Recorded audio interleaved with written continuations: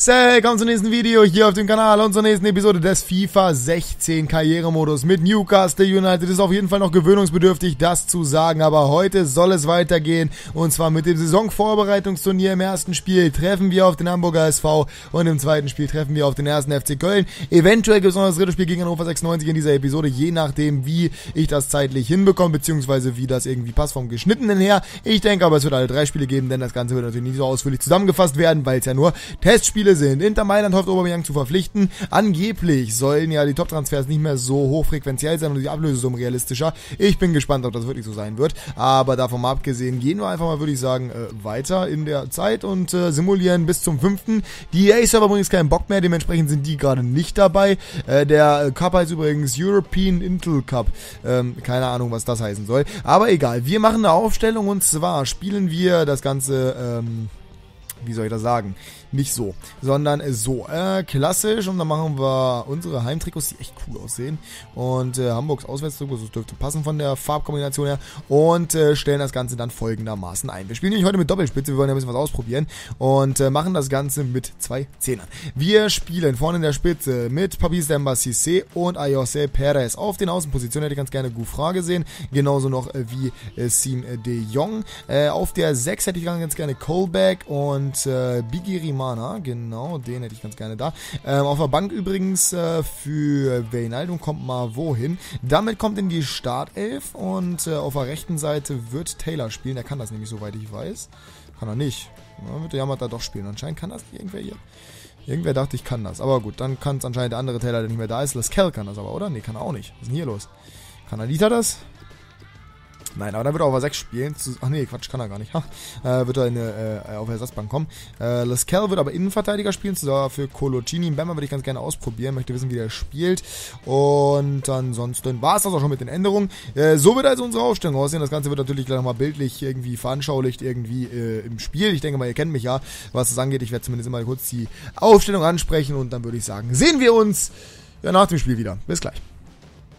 Ausprobieren war der Sinn des European International Cups für Newcastle United und den Hamburger SV. Heute im Signal Iduna Park erstes Gruppenspiel dieses internationalen Turniers. Newcastle im ungewohnten 4-2-2-2 System, während der Hamburger SV im 4-3-3 antrat. Das heißt mit zwei Flügelspielern bei Newcastle, zwei Zehner hinter den offensiven Spitzen und es sollte eine interessante Partie werden mit Chancen auf beiden Seiten, bei denen natürlich die Trainer sehr viel ausprobieren wollten. Erste Chance für Newcastle nach knapp 20 Minuten Flanke von Gouffra war abgefälscht geht an die Latte, allerdings gibt es dafür nur den Eckball, der im Endeffekt eventuell nochmal eine größere Chance werden könnte. Colbeck bringt diesen Ball in die Mitte, kann gute Standards schießen, der Kopfball abgewehrt, Perez nochmal mit der Chance, aber Ayose haut den Ball hier über den Kasten des HSV hinweg, somit bleibt es erstmal beim 0 zu 0 nach 20 Minuten. Es ging weiter auf der anderen Seite, Hamburg, ja, spielte offensiv ab und zu mal ganz schön Fußball, allerdings kam wenig durch die Abwehr rein, genauso wie bei ihnen selber. Hier mal der Ball von Diaz auf Olic, nochmal zurück auf Mauro Diaz, Marcelo Diaz Diaz natürlich und der versucht aus der Distanz, aber kein Problem für den Keeper von Newcastle United. Gut abgewehrt, kurz vor der Halbzeit blieb es beim 0 zu 0. Dann nach 60 Minuten knapp der erste Wechsel bzw. Doppelwechsel auf Seiten von Newcastle. Mavo und Mitrovic kamen in die Partie für den unauffälligen Papis Dembas, ich sehe den ehemaligen Freiburger und Joan Gouffra und die beiden sollten gleich direkt eine richtig große Bedeutung spielen. Gute Balleroberung von Newcastle und dann haben wir hier Mitrovic gerade eingewechselt und das Foul. Hier ganz unnötig in der Situation von Soltan Stieber. Der Ungar kriegt dafür vollkommen zurecht die gelbe Karte und Newcastle Lukas, der kriegt eine richtig gute Freischusssituation. Und mit Sylvain Morveau hatten sie gerade erst einen Schützen eingewechselt, der aus der Position auf jeden Fall ein gefährliches Ding auf den Kasten von Hirzel bringen konnte. Der Franzose machte sich auch direkt an die Aufgabe Nummer 31, knapp 30 Meter und ja, der Ball relativ gut getreten, aber Hirzel hat da keine größeren Probleme und kratzt den Ball von der Linie. Es ging weiter mit Newcastles offensiven Anlauf, allerdings kamen sie nicht mehr wirklich gefährlich. Vor Tor nochmal Mitrovic in der 87. Minute, der Ball in die Mitte, Colbeck versucht es aber wieder zu zentral auf Kürzel. Und das war die letzte Aktion der Partie für die Magpies in der Offensive. Es blieb beim 0 zu 0. Ein Punkt also für die beiden im ersten Spiel. Torloses Remis. Das muss besser werden im zweiten Spiel. Und zwar aus Sicht von beiden Mannschaften, sowohl beim Newcastle United als beim Hamburger SV. Immerhin kein Gegentor. Das ist das Positive, was man auf beiden Seiten anmerken kann. Allerdings waren die Fans natürlich unzufrieden. Und das vollkommen zu Recht in so einem Turnier erwartet man Tore. Und die sahen sie hier zumindest in dieser ersten Partie noch nicht. Es muss in den nächsten Partien also besser werden. Sowohl bei den Hansestädtern als auch bei den Magpies. So, da sind wir wieder zurück. 0 zu 0 im ersten Spiel. Köln gewinnt 3-0 gegen Hannover. Na, das ist natürlich mal ein Ausrufezeichen, das da gesetzt wurde. Ähm, das Spiel, das war das erste Spiel, was ich jetzt in der FIFA 16 Vollversion gemacht habe, muss ich dazu sagen. Es fühlt sich an sich interessant an, aber man muss auch dazu sagen, es ist nicht ganz so einfach. Also, ähm, es war schon deutlich einfacher, Tore zu schießen in FIFA, als es in dieser äh, Episode bisher war. Aber wir werden sehen, wie das Ganze laufen wird. Leroy Sané ist an sich ein sehr, sehr interessanter Spieler. Den werde ich auf jeden Fall mal beobachten. Da bin ich interessiert. Dann Genki Haraguchi eher nicht so so. Lex auch nicht, Werner auch nicht, Jairo auch nicht, Caldirola auch nicht, Schürler auch nicht und Douglas Costa schon mal gar nicht. Aber gut, das sind immerhin die ersten äh, Spieler, die von meinem Scout vorbeigeschickt werden, quasi, beziehungsweise die mein Scout mir hier anbietet und von daher kann man da nicht so besonderlich, äh, sind ja fast besonderlich, sonderlich viel äh, gegen meckern. Vertragsverlängerung von Callum Roberts, da sind wir schon mal einig, das ist wunderbar. Ähm, mir hat das gerade nicht so gut gefallen, die Aufstellung, muss ich ganz ehrlich sagen. Das heißt, wir werden jetzt gegen Köln auf jeden Fall irgendwie ein bisschen anders spielen ähm, im internationalen Cup. Das werden wir natürlich jetzt hier hier wieder so einstellen. Äh, wir spielen mal, äh, ja, das ist natürlich im dritten Trikot. Das sieht gar nicht so schlecht aus eigentlich mit dem Pinken. Das sieht ganz cool aus. Ähm... Wir spielen jetzt im 4-3-2-1, ja. Das ist ähm, mal ein Versuch, den ich wagen möchte. Ich finde die Idee eigentlich ganz nice. Ähm, das haben wir hier, 4-3-3. Und ähm, wir spielen mit der einzigen Sturmspitze Mitrovic, das war, was wir gerade schon gesehen haben. Ähm, wir packen Perez raus, dafür kommt eben Roberts rein auf die Bank und, oh, ich wollte gerade sagen, hier Kollege Armstrong, aber der ist ja verliehen. Ähm, wir packen Anita in die Startelf für TOT. Sissoko spielt weiterhin da auf der Position. Marvo kriegt seine Chance von Anfang an, mir gerade eigentlich ganz gut gefallen. Ähm, Biggie Rimana war nicht so stark. TOT kommt auf die Bank für Colback. Ähm, Taylor kommt in die Startelf und zwar für Colocini. Mbemba geht raus und zwar für Mike Williamson. Curtis Good kommt auf die Bank für Colocini. Und äh, was machen wir noch? Ich glaube, sonst äh, können wir es eigentlich so lassen. Ja. Haidara wird mal sein erstes Spiel machen. Und äh, Colocini können wir eigentlich können wir ihn noch auf die Bank setzen, oder? Ne, können wir nicht, weil TOT, Roberts und Good eingewechselt werden sollen. Gut. Dann lassen wir es so und äh, ich würde sagen, ach nee, Quatsch, wir müssen noch vorne was ändern. Ja, Quatsch, Quatsch, Quatsch. Äh, wir müssen nämlich noch Veynaldum rausnehmen und äh, Thorvon reinpacken. Und äh, Veynaldum kommt auf die Bank und dann, äh, ja, können wir irgendwie nicht einwechseln und wir lassen mal TOT dann ganz draußen. Der spielt in der nächsten Partie. Äh, ich würde sagen, das äh, könnte was werden. Wir werden mal ausprobieren. Dalo kommt ins Tor noch für Krüll. Damit war richtig schön viel rotieren und ich wünsche euch viel Spaß und bis gleich. Zweites Spiel im European International Cup, sowohl für Newcastle United als auch für den ersten FC Köln. Die Kölner in der ersten Partie siegreich gewesen, Newcastle mit einem 0 zu 0 gegen den Hamburger SV. Beide wollten es heute besser machen. Natürlich ungewohntes Terrain für die Engländer, für die deutschen Vertreter, für den ersten FC Köln. Gerade mal ein paar Kilometer vom Heimatort entfernt. Dementsprechend etwas einfacher für sie, hier in die Partie zu gehen. Und genauso gingen sie es auch an. Allgemein war Newcastle verunsichert und Köln machte in den ersten Minuten das Spiel. Das äh, wirkte sich natürlich auch direkt auf das Chancenverhältnis aus. Erste Aktion die richtig torgefährlich war nach knapp 15 Minuten. Lehmann mit dem Doppelpass und dem Schussversuch, aber Darlow ist da und hält diesen Ball relativ sicher. Auf der anderen Seite dauerte es ein bisschen, bis Newcastle in Fahrt kam durch einen Fehler von Mergi Mavre. Da ist Aarons, der junge Nationalspieler Jamaikas, scheitert aber zunächst am Kölner Keeperhorn und dann am Pfosten. So blieb es weiterhin beim 0 zu 0. Erste richtig dicke Chance für Newcastle. Die waren jetzt aufgewacht, versuchten es weiter nach vorne. Florin Thorvon kann sich hier den Ball erobern, geht in den 16er, lässt sich aber zu weit nach außen treiben und der Schuss dann dementsprechend nicht mehr so gefährlich. Es blieb nach 34 Minuten weiterhin torlos beim Remi. Auf der anderen Seite gab es mittlerweile ja weitere Chancen und zwar hier für Gerhard. Osako dreht sich wunderbar um den Verteidiger 1 zu 0, 42. Minute. Newcastles erste Saisongegentor und für Köln der erneute Führungstreffer. Gegen Hannover hatte man bereits gewonnen und hier war man jetzt gegen Newcastle der neue Führung.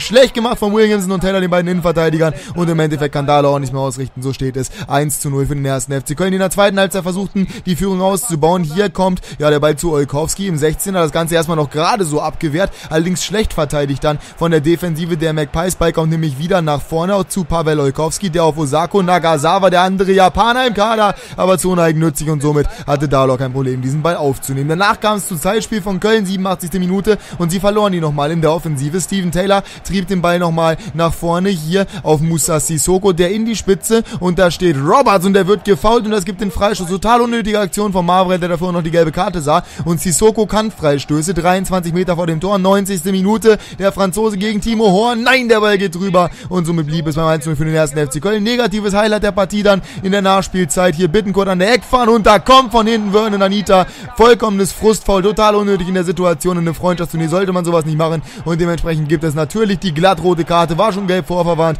aber bekommt hier nochmal glattrot und das vollkommen zurecht. Geht er in die ja, Beine des ehemaligen 96ers und das auch noch von hinten. Er nimmt die Verletzung des Gegners in Kauf. Klar ist er gefrustet, aber so muss man trotzdem in dieser Situation definitiv nicht reingehen und dementsprechend vollkommen zurecht die rote Karte. Das war's von der Partie. Köln also im zweiten Spiel mit dem zweiten Sieg. Newcastle verliert zum zweiten Mal wichtige Punkte, hat nur einen aus den ersten beiden Spielen und braucht gegen Hannover 96 einen Sieg, um die Chance noch beim Weiterkommen zu wahren. Aber wenn sie so weiterspielen, dann wird das nix, denn um zu siegen müssen sie Tore schießen und das läuft bisher noch nicht bei den Magpies. Bei Köln kann man sagen, dass die Vorbereitungen gut laufen. Yuya Osako war heute erfolgreich und sie sind dementsprechend schon weiter in der nächsten Runde im Halbfinale. Gut, das war gnadenlos effektiv vom 1. FC Köln. Wir sind mit einem Punkt äh, noch auf einem Level mit Hannover 96 äh, und dem Hamburger SV. Ne, der Hamburger SV mittlerweile schon zwei Punkte. Das heißt, wir müssen das letzte Spiel jetzt gewinnen gegen Hannover 96 und Hamburg muss gegen Köln verlieren. Sonst sieht es äh, schlecht aus für uns. Von mir aus können ja unentschieden spielen, aber wir müssen auf jeden Fall gewinnen. Nationaltrainer juckt mich nicht. Anita wurde für zwei Spiele gesperrt nach seiner roten Karte. Nie mal gelb-rot, nein, glattrot. Für diese Aktion, die wirklich relativ unnötig war, aber es war halt ein Frustfaul. Äh, nicht nur mein persönlicher Frust, sondern auch seiner, das hat man ganz klar gesehen, das war nicht nur meine äh, ja, quasi Handlung. Wir gucken uns außerdem Enkel Ilia Quimangala, nicht Equialim.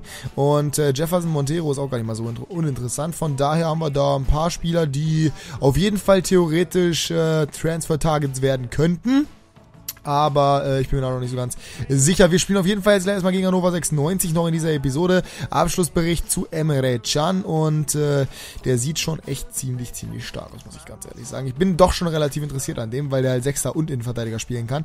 Äh, da werde ich vielleicht auch mal anfragen für eine Laie, weiß ich noch nicht so ganz genau. Aber zunächst einmal werden wir jetzt nochmal ausprobieren im letzten Spiel und zwar nochmal mit einer neuen Formation. Ich weiß ehrlich gesagt noch gar nicht welche, aber ich glaube, ähm, ja, wir spielen da mit mit was spielen wir denn da? Ich weiß es noch nicht. Ich habe noch keine Ahnung, wir gucken gleich mal nach. Äh, aktuell ist aus Frankreich. Was haben wir denn da schönes? Ein Benza vom Fumutamutsu haben wir hier wieder. Nkudu, Wallace, Get, äh, Vidmont, äh, Lukas und Salibur. Salibur gucken wir uns nochmal an. Und äh, Bruno Perez am Abschlussbericht, genauso wie Zurugani und Salvatore Molina. So, Bruno Perez, was kannst du denn? Du kannst alles, das weiß ich schon. Das Ultimate Team ist ein absolutes Monster von einem Rechtsverteidiger. Würde wahrscheinlich sehr schwer zu bekommen sein, deswegen, ähm, ja. Rugani haben wir dann hier. Ja, an sich, an sich, an sich sieht das alles pervers aus, muss man ganz ehrlich sagen. Aber auch der wird einfach unfassbar schwer zu bekommen sein. Salvatore Molina sieht nicht stark aus und den, äh, dementsprechend löschen wir den auch mal. Gut, Nachricht von Spielern Starry, der würde ganz gerne spielen. Äh, das können wir ja auch mal machen in der nächsten Episode, beziehungsweise nicht in der nächsten Episode, sondern im nächsten Spiel. Jetzt hier gegen Hannover 96, auch da werden wir wieder die Aufstellung hier vor dem Spiel festlegen, gegen die Heinz von Heiden Trikots. Wer soll das sein? Ich weiß es nicht. Egal, gut. Äh, welche Formation spielen wir? Das ist die große Frage. 4-5-1, das wäre quasi langweilig. Ähm, mit Flügeln hat mir das schon ganz gut gefallen, muss ich sagen. Deswegen spielen wir 4-3-3-4 offensiv. Äh, auf der 10 geht Weynaldum. In den Sturm geht Papis Demba Cissé. Auf die rechte Außenbahn geht, ähm, ja, Gouffran würde ich sagen. Auf die linke Außenbahn, das ist die Frage. Wo kann das, glaube ich, genau. Geht dementsprechend Marvo. Ins zentrale Mittelfeld, äh, zentrale Mittelfeld geht TOT zusammen mit Sissoko. Äh, Rechtsverteidiger wird dann eben dieser Starry werden. Äh, den haben wir hier. Ähm, ja, Curtis Good, Rivier, packen wir mal auf die Bank, spaßeshalber. Auch wenn der eher nicht zum Einsatz kommen wird, glaube ich. Und Rob Elliott lassen wir auch noch mal eine Runde spielen für Tim Kröll. Äh, Sim de Jong, hm. Hat er ja noch nicht ausreichend gespielt. Könnte ich mal für Sissoko eigentlich erstmal reinwerfen. Allerdings kann er die Positionen nicht. Äh, allerdings können wir das dann so machen. Und äh, Colocini braucht seine Spielzeit. Haidara, hm, da weiß ich noch nicht. Ich glaube, da lasse ich wieder damit spielen. Der hat mir ganz gut gefallen in der ersten Partie.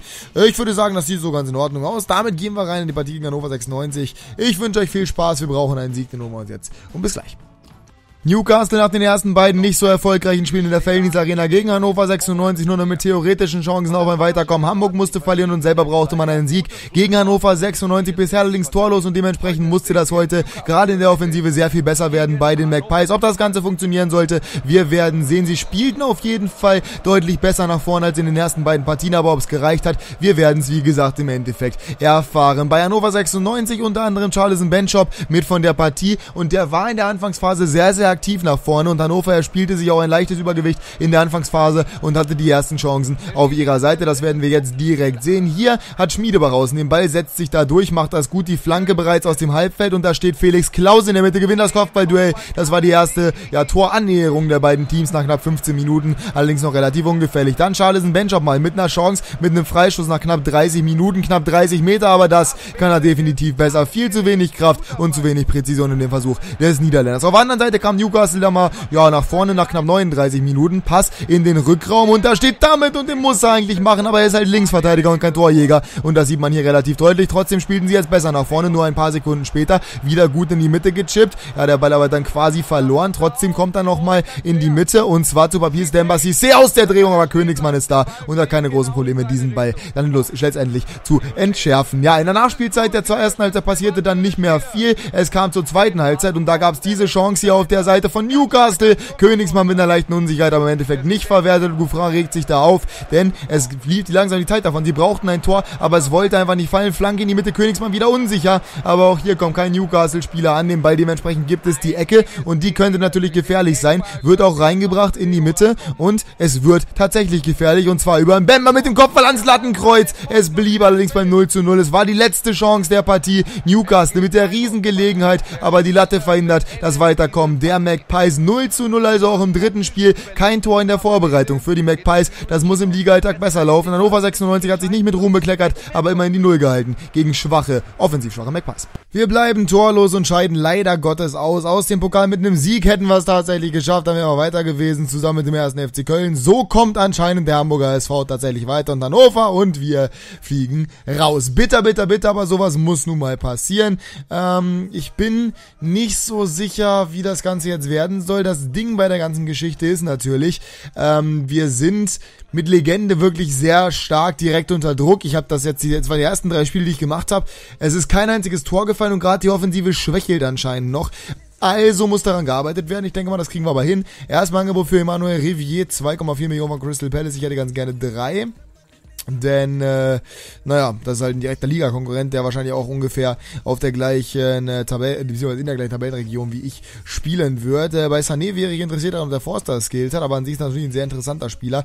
2,3 Millionen Marktwert kannst du auf jeden Fall schon mal so machen. Dann haben wir hier sieben Spieler noch aus ähm, Italien, unter anderem Balde Diao Keita oder auch Domenico Berardi. Äh, Romanoli haben wir noch dabei, Lazar, der ist auch an sich interessant. Capra, äh, Caprari nicht so. Koulibaly Ali, den finde ich extrem interessant. Anscheinend kommt er mittlerweile wieder aus Senegal ähm, und nicht mehr aus Frankreich. Aber gut, wir werden sehen, was passieren wird. An sich äh, bin ich bisher noch nicht so begeistert von den Scouts. Die haben noch nicht so krasse Arbeit geleistet. Also da geht auf jeden Fall noch was. Ich bin gespannt, äh, was wir jetzt hier noch haben aus Deutschland. Danach beenden wir die Episode auch. Die dauert sowieso schon lange genug auf jeden Fall. Äh, wir haben hier Ilas Bebu äh, von, ja, Fortuna Düsseldorf, der ist aber nicht so interessant. Kostic, der ist auf jeden Fall interessant. John Anthony Brooks ebenfalls. Dann haben wir Massimo Bruno, Bellarabi, Uffe Beich, ist Scout haben wir mal aus Prinzip. Dann haben wir noch Manuel Torres, äh, Hermann, ja gut, das ist nicht so krass. Elia Queen, Mangala und Jefferson Montero haben Abschlussberichte zu. Ähm, Emre Can, dann haben wir hier Montero, 9 Millionen Marktwert. Ähm, ist schon ganz schön happig und der hat nur 70 Abschluss, von daher eher nicht. Mangala, was hat der für einen Marktwert? 16 Millionen. Was natürlich krass ist, wenn wir den kaufen wollen würden, 20 Millionen müssten wir schon für den berappen. Und das ist schon eine ganz schöne Menge. Von daher bin ich da nicht so episch drauf. Eher auf eine Laie von Emre Can. Damit hat man nämlich gleich zwei Fliegen mit einer Klappe geschlagen. Und zwar den Sechser und den Innenverteidiger. Ist natürlich vom Rating ja nicht so stark, aber vom Potenzial auf jeden Fall. Und von daher 5,1 Millionen steht hier. Ich würde ihn ganz gerne für zwei Jahre ausleihen. Künftige Ablöse nicht festgesetzt. Beziehungsweise künftige Ablöse können wir einfach mal vielleicht 8 Millionen machen oder 7, 7 Millionen. Vielleicht versuchen wir es mal so. Es wäre auf jeden Fall eine interessante Möglichkeit, ihn äh, zu verpflichten. Obita haben wir hier noch, 70er Rating hat er, 21 Jahre alt, ist mir ehrlich gesagt etwas äh, zu ja, schwach für das Alter bereits. Wir simulieren mal die nächsten Tage weiter. Ach, wir können ja wieder Training machen, ne? Das habe ich ja ganz vergessen. Verdammt, nur eins. Egal. Wir haben Transferangebot und zwar über 2,6 Millionen für Rivier weiter. Wir gehen mal runter auf 2,9. Aber drei, also um den Dreh drei oder über Markt würde ich doch schon ganz gerne haben. Aktuelles aus England haben wir dann hier nochmal und zwar Declan John. Den gucken wir auf jeden Fall an von Cardiff. Joel Campbell, okay. Ola John, äh, Wilfried Zaha, auch interessant. Ryan Mendes, Stephen Corker, Maynor und Scannell. Okay, alles klar. Dann haben haben wir noch die Abschlussberichte zu Salibur und Fumutamutsu. Äh, Salibur, nee, kannst du vergessen. Fumutamutsu kannst du anscheinend auch vergessen. Also die beiden leider Gottes auch nicht so interessant für uns. Ähm, genau, Training wollte ich machen. Und zwar werden wir bei Mitrovic was trainieren und zwar das Dribbling. Und zwar Mittel werden wir da machen. Dazu, ups, dazu werden wir bei, ähm, Florin Thauvin. Ich hätte ganz gerne, dass der ja, Tempo-Dribbling passt, glaube ich, ganz gut. Äh, ups, das war schon wieder Mitrovic, das ist ja schrecklich. Ähm, Mittelfeldspieler. Weinaldum braucht mehr Schuss. Weinaldum braucht mehr Schuss. Äh, was machen wir denn da? Was machen wir denn da? Auch Fernschüsse mal, wie bei Sissoko vorhin schon. Bei Sissoko, nee, das ist Sissé. Das ist Sissé. Wir nehmen Sissoko selber nochmal mit in das äh, Geschäft rein. Und zwar was machen wir denn da? Passspiel. Passspiel wäre wichtig. Und zwar Steilpässe. Das passt, glaube ich, schon mal ganz gut. Und die Übung Nummer 5, das ist für die Innenverteidigung. Das ist für Mbemba mal wieder. Und zwar El Rando. Ähm, ich würde ganz gern passen machen. Und zwar... Flügelwechsel. Nee. Präzisionspass. Nee. Pässe beherrschen. Äh, Steilpässe, Timing von Pässen. Timing von Pässen klingt gut. Machen wir einfach mal so. Übung simulieren. 5, 4, 3, 2, 1, 0. Äh, mit A abgeschlossen, das ist sehr schön. Hier simulieren wir mal alles. 1, 0 und äh, oh, D und D bei Sissoko und bei Mbemba, was natürlich nicht so schön ist.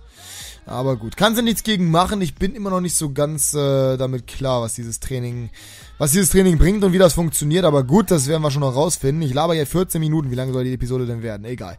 Was war da gerade? Ich hab's äh, nicht gelesen, leider Gottes. Äh, da stand, wir müssen ihn damit, das ist ja, okay, sie möchten ihn nicht ausleihen. Das heißt, wir müssen ihn kaufen, beziehungsweise wir werden versuchen, ihn zu kaufen. Und zwar für 5 Millionen. Das ist das Angebot, was ich jetzt erstmal mache. Und äh, nachdem wir hier quasi eine Absage bekommen haben, beziehungsweise nachdem wir hier nochmal ein Angebot gemacht haben, beenden wir das Ganze. Also spätestens am 1. August ist das Ganze hier vorbei. Transferangebot für Tony, das machen wir zwei Jahresleihe nach Sheffield United. Das sieht doch ganz in Ordnung aus, kannst du auf jeden Fall so machen. Ist das nicht der hier Traditionsverein, der älteste der Fußballgeschichte? Weiß ich gar nicht, ob das Sheffield United war. Ich glaube schon. Transferangebot 2,8 Millionen für Rivier, das ist Marktwert, das nehmen wir an. Damit haben wir auf jeden Fall schon mal einen Stürmer weniger im Kader und sind einen der Franzosen los. Frankreich haben wir nochmal Angebote bzw. Vorschläge und zwar Touré, Lemar, Cabot, Coucon, Florenti Pogba. Das ist vielleicht gar nicht so uninteressant. Und Hult, Wilfried Saar Abschlussbericht, das ging ja schnell. Ähm, wäre auf jeden Fall interessant. 77er Rating hat der, das ist natürlich krass, aber trotzdem wäre der an sich interessant. 10 Millionen bieten wir mal. Spaßeshalber. Hat gerade einen neuen Vertrag unterschrieben, aber trotzdem wäre der auf jeden Fall gar nicht mal so schlecht und Flügelspieler können wir auf jeden Fall äh, gebrauchen. So, wir warten ab, was sie zu Emre Can sagen. Daniele Werder haben wir noch eine Antwort zu und Liverpool hat das Angebot akzeptiert. Na, das ist natürlich super, weil damit haben wir einen neuen Innenverteidiger bzw. Sechser und der wird gleich wichtiger Stammspieler. Damit haben wir den ersten richtig coolen Transfer, würde ich mal so sagen. Äh, Bali haben wir hier noch Daniele Werde, das gucken wir uns gleich alles mal ups, äh, in einem an. Äh, ja, 76er Rating bei Baldia Keita wäre an sich auch eine Möglichkeit, aber nee, äh, werde, nee, auch nicht. Berardi ist zu teuer, hundertprozentig, ja, 20 Millionen, das geht nicht, das kann ich mir nicht leisten. Er ist gerade erst gewechselt. Lazar sieht auch nicht so stark aus. Koulibaly sieht sehr stark aus, ist aber auch zu teuer für uns. Und da wir mit Chan jetzt sowieso einen guten Spieler haben, ähm, müssen wir uns, weiß ich nicht, ob wir uns da wirklich Gedanken drum machen müssen. Äh, Rivier ist verkauft. Crystal Palace sagt inakzeptabel. Wir kriegen ein Angebot für Gilliard. Das nehmen wir auch an. Den wollten wir ja sowieso loswerden. Und äh, was ich jetzt gleich noch machen werde, ist ähm, mein Angebot auf 11 Millionen zu erhöhen.